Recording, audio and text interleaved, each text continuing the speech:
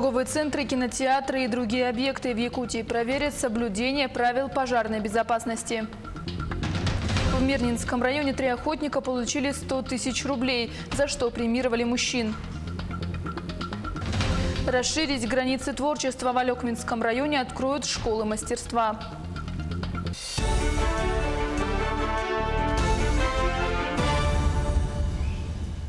Это новости в прямом эфире в студии Юлия Великодная торговых центрах, кинотеатрах и в других объектах массового скопления людей Якутии проведут внеплановую проверку пожарной безопасности после трагедии в Кемерово.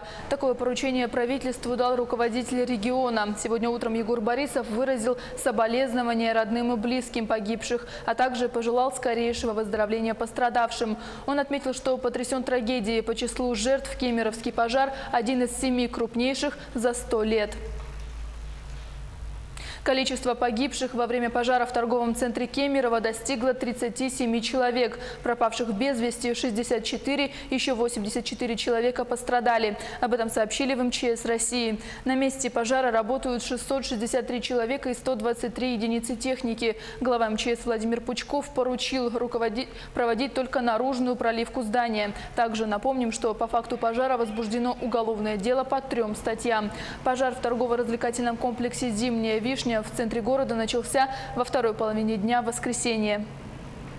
Сигнализация пожарная в магазине «Торговая вишня» не работала. На тот момент уже свет в магазине был погашен. Э, и получается, я и многие другие люди, которые пытались помочь э, гражданам, э, поднимались наверх и помогали людям спускаться. Это там и дети, и взрослые, они выбегали все в без в майках, ну не в куртках, просто вот в чем были, находились там в здании. К другим темам на Нерингринской ГРЭС стартовала ремонтная кампания. На нее планируют затратить свыше 450 миллионов рублей. Средства будут направлены на ремонт оборудования Нерингринской ГРЭС, Чульманской ТЭЦ и магистральных тепловых сетей. Работы начнут в марте и завершат к началу отопительного сезона. Всего в ходе программы проведут ремонт на 47 единицах основного и вспомогательного энергооборудования. В Мирнинском районе по результатам отстрела волков три охотника получили премии главы района. Общая сумма вознаграждения составила 100 тысяч рублей. Мужчины добыли наибольшее количество хищников. В этом году в районном бюджете заложена такая же сумма. Об этом сообщили на совещании в администрации района с представителями родовых общин, Комитета охраны природы и общественности в рамках Дня охотника. Также на встрече говорили о неукоснительном соблюдении компаниями и недропользователями природоохранного законодательства и поддержки родовых общин муниципальным образованием.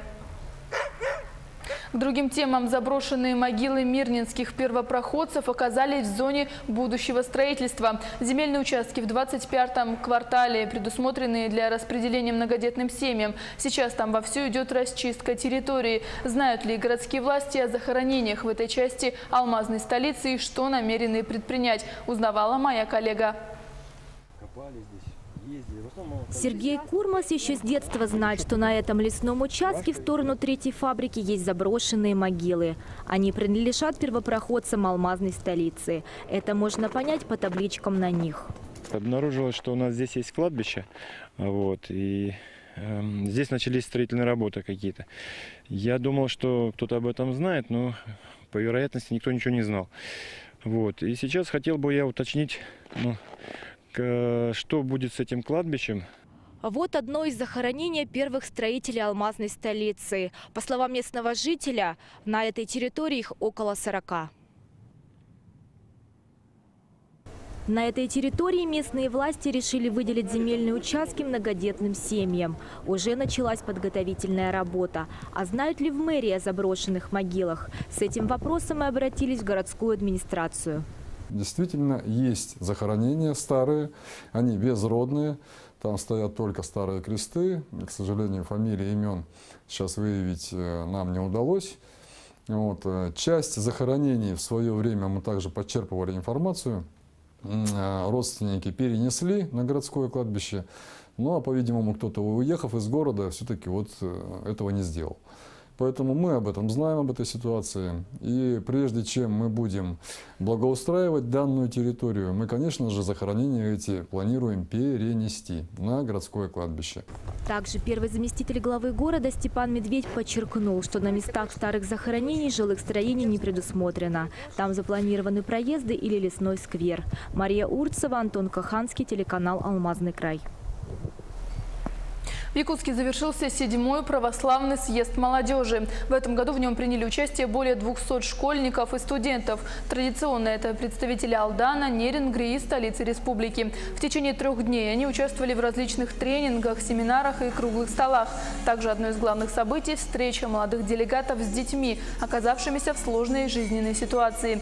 Разделившись на группы, участники съезда провели встречи с воспитанниками детских домов, школ-интернатов города. А на заключительном мероприятии мероприятии презентовали свою работу. Помимо этого посетили исторические места столицы и музеи. Знаете, они всегда удохотворяют. Всегда, во всех случаях. Что-то новое узнаешь из истории. Э, даже тот сегодняшний исторический парк, который мы увидели, который инновация так далеко шагнула вперед, что очень это хорошо. И я даже поняла, что многим э, теперешним ученикам это очень повезет смотреть, э, видеть даже наглядно в таком 3D даже виде.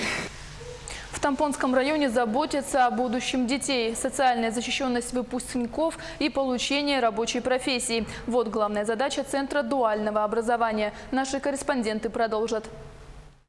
Здесь школьники с 8 класса параллельно со средним образованием получают профессиональное образование. В течение трех лет обучаются на швею, оператор ЭВМ, повара третьего разряда. А чтобы стать водителем категории «Б», нужно учиться 4 года. С 2009 года действует филиал центра в Джабарики-Хаинской школе, где учащиеся получают специальность секретарей машинисток. В 2016 году открыто парикмахерское дело, куда пришли 20 девушек. У всех была одна цель – научиться делать прически от простых до самых сложных, которые они поэтапно практикуют на занятиях.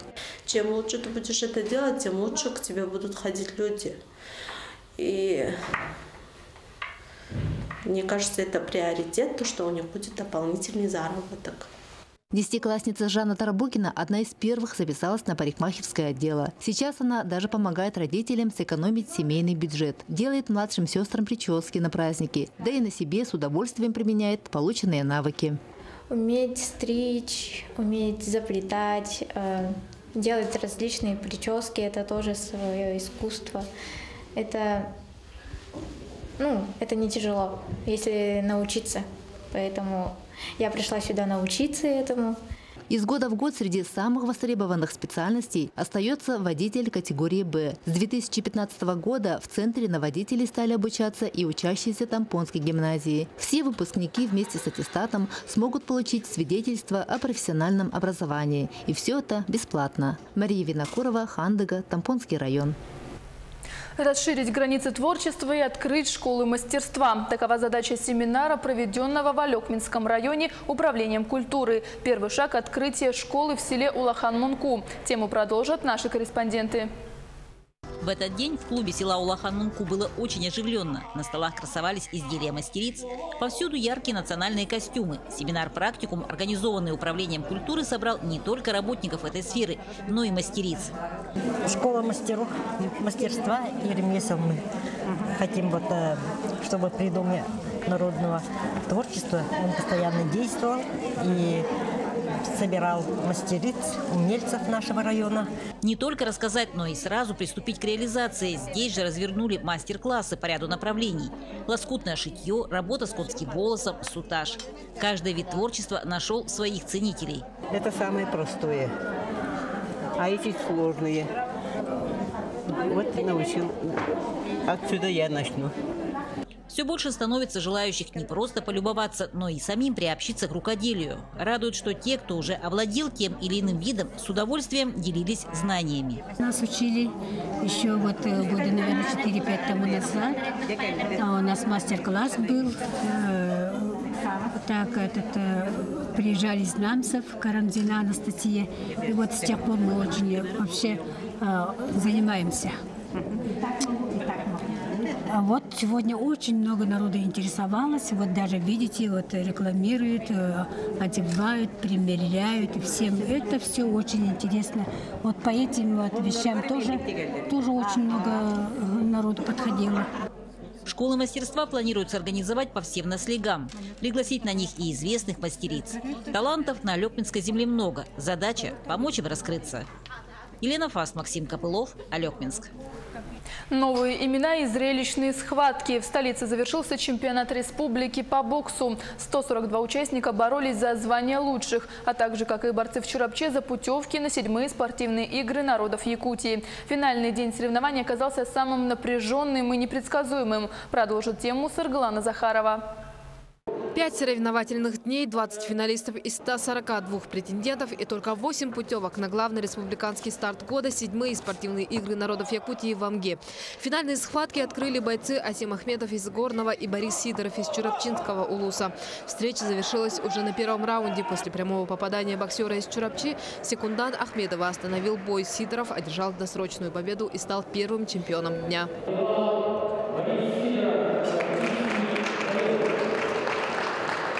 Дальнейшие бои оказались не менее захватывающими. В 52 килограммах победу одержал один из перспективных участников – воспитанник училища Олимпийского резерва Николай Григорьев. Фаворит турнира, чемпион мира среди студентов Дарман Кутубеков встретился на ринге с представителем Сунтарского улуса молодым спортсменом Михаилом Варламовым. После первого раунда лидер соревнований отказался продолжать бой. Как оказалось, днем ранее он получил травму руки. В полуфинальном бою во время боя во втором раунде у меня хорошее попадание было. И я выбил э, указательный средний пальцы рук правой руки. И сегодня получается то же самое хорошее попадание. Это спорт э, нормальный. И такое должно быть. Без этого никак. И это не последний бой, не последнее соревнование. Мы раньше боксировал, знал, как он боксирует. Ну, нормальный. Он всегда сильный был. Ну, бокс – это бокс. Сейчас будем настраиваться, тренироваться, идти дальше. Стоит отметить, что Кутубеков на этом чемпионате поднял вес с 56 до 60 килограммов. Позже спортсмен признался, что в этой категории ощущает себя не совсем комфортно и вернется в свой предыдущий вес. Однако ошибки быть не должно. На кону билет не только на Игры народов, но и чемпионат России. После финального боя будем сформировать э, команду сборной Республики Саха. Это будет э, не полностью, но где-то будет замена. Потому что э, в июле месяце я должен показать состав сборной Республики Саха чемпионата России, главный тренер сборной Российской Федерации. Напомню, что чемпионат страны пройдет в Якутске этой осенью. Такое решение было принято еще в конце прошлого года. Якутия, как организатор, сможет выставить одну команду для участия, а также дополнительно подготовить еще шесть боксеров. Они будут бороться за место в турнире индивидуально. Саргалана Захарова, Илья Сарамятников, Якутск. Таковы новости к этому часу. Оставайтесь с нами.